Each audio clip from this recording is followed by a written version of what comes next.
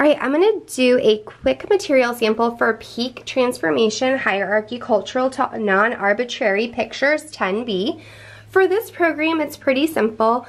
You're just gonna need for materials for Stimuli A, six images that belong to two categories where two images belong to both categories. Um, okay, so for this example, I'll just show you what we used for our train class one we just used picture cards that we laminated. So we have a flamingo, a puffin, a turkey, a mouse, a fox, and a chicken. And so all of these are going to go into the animal category, but the turkey and the chicken are also foods. Okay, so that is the first set. The second train class, we did vehicles and toys. So we have a toy car and a toy helicopter, a bike, a car, an airplane, and a train. So they are all vehicles, but these two pictures are both. They are a vehicle and they are a toy. So you can see that we labeled those categories animal and food, vehicle and toy, and stimuli B that match along. So again, we have puffin, mouse, chicken, flamingo, turkey, and fox. Stimuli A, train class 1.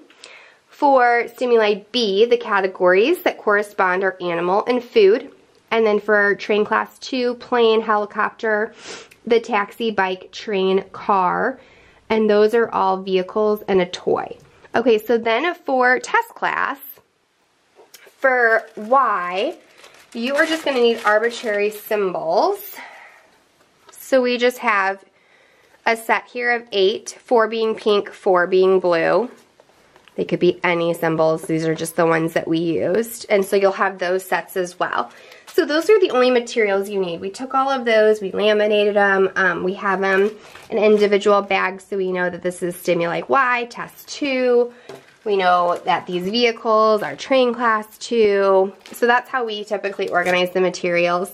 Uh, and then for just kind of a quick run through, um, you have three blocks here. Train Class is A to B. You're prompting, providing feedback, reinforcing. You're going to give the participant the six images.